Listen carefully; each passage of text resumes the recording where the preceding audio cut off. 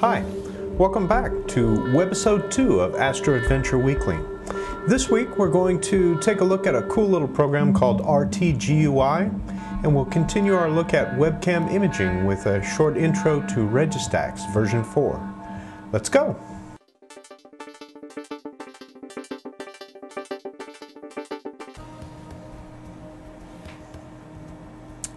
Last week we looked at Stellarium, a really nice photorealistic planetarium program.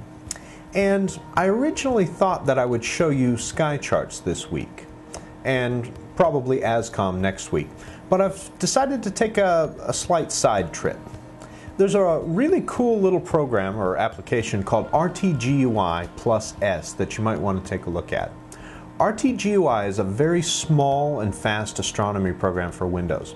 Its main purpose is to help you select objects that are visible right now or at some specific time. It does a lot of other stuff too.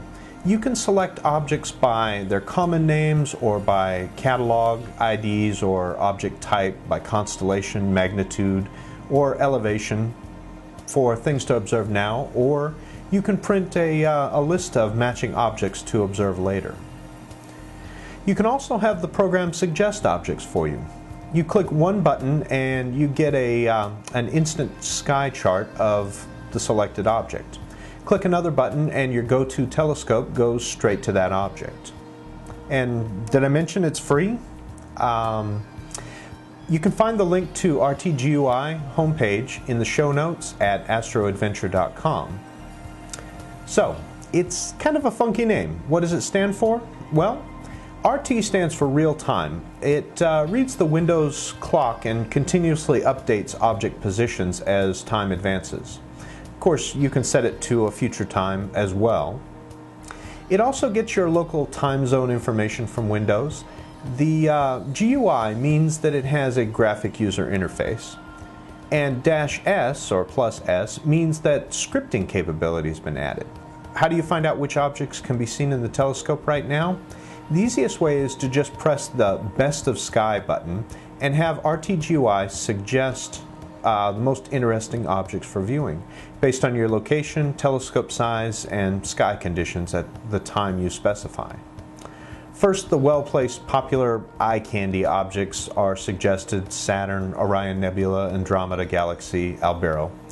Then you'll get into a longer list of selected Messier, NGC, and IC objects, and lastly, double stars. You can move forward and backward along the chain as much as you want, and you can save it into a file and view or print it as a list. You can also search by constellation and or by object type. If you see Orion standing high in the sky, just do a simple search on the name Orion RTGUI will give you every deep sky object in that constellation that's potentially visible in your telescope. You can press Next Match when you want to go on. You can also back up to the previous match and save or print any of your matches. The new search wizard makes it easy to refine your searches.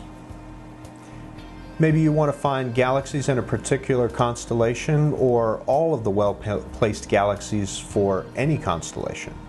The search wizard can locate the kind of objects that you tell it if that you want to see.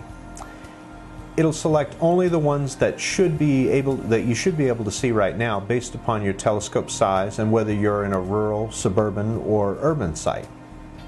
You want to search by common name, you just press simple search and type in the name of an object. Now, each object in the RT GUI catalog can have up to five names. So M1, Crab Nebula, and NGC 1952 are all the same. Double stars can be found by the label DBL and be followed by information about their separation and magnitude.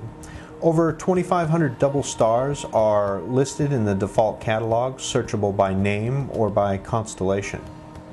I think you'd be surprised how many different kinds of names uh, and objects can be found. For observers using typical amateur telescopes, probably 99% of the extrasolar objects that you'll ever plan on observing can be found in the default catalog, and usually under several different names. So, what about star charts? If you've installed the program Sky Charts, you can click on the Sky Chart button and get an instant sky chart centered on the selected object. SkyCharts is an extremely sophisticated, full-featured astronomical charting program, and as I said, we'll be looking at that next week. So, how do you change the catalog, the time, the location? Generally, to change something in RTGUI, you click on a button and a dialog box pops up and you follow the directions. You'll also see tooltips whenever you place the mouse over any field. You can click on the latitude and longitude buttons to change them. If you have uh, handheld GPS, the program will read your location from that and you just click load. Or if your telescope has GPS, it can also read that, and again, you just click load. Now you'll probably want to save several different location files under different names and load them as needed for when you're observing at different sites. The first time you run RTGUI, it will nag you to tell it what kind of telescope, if any, you have, and what COM port it's connected to. You should also enter the size of the scope and uh, whether or not uh, you're observing at a rural, suburban, or urban site. And make sure you save all this information as well. Other catalogs. In addition to the default full catalog, some other catalogs are available. There's a Messier Marathon catalog, the WDS, the Washington Double Stars catalog. The GCVS catalog contains a general catalog of variable stars, 38,000 plus entries. These catalogs are found on the homepage for RTGUI. But what about scripting? Scripting really gives us the capability to accept command line parameters, allowing RTGUI to be controlled by other software instead of just by the GUI interface. It makes it possible to have RTGUI perform completely automated tasks, such as positioning your telescope on Saturn at 3 a.m. and moving to Venus at 4 a.m.